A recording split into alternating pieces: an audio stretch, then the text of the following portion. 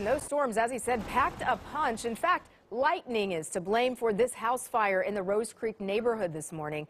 You're looking at brand new video showing firsthand what firefighters were up against.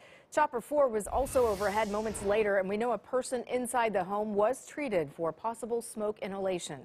As for the home, firefighters contained most of the damage to the roof and the second floor, close to where that lightning bolt hit.